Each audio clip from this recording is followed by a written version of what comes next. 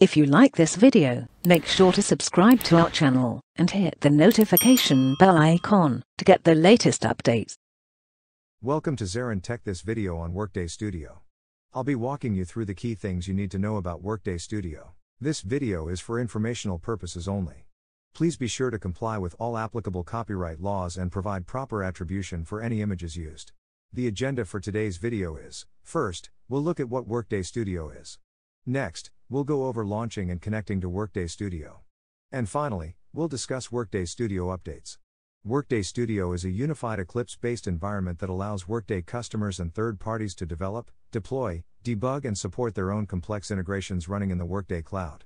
The Cloud Explorer in Workday Studio provides an interface to the available Workday environments. This allows you to connect to your Workday tenant and work with the various objects and data available. Workday Studio will automatically detect when an update or patch has been released the next time you use Studio and attempt to interact with the Workday runtime.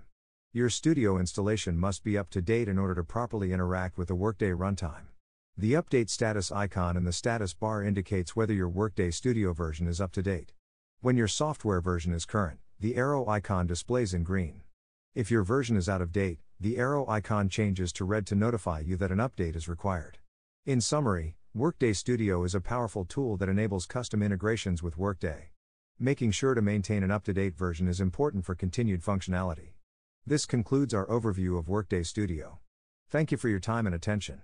Let me know if you have any other questions.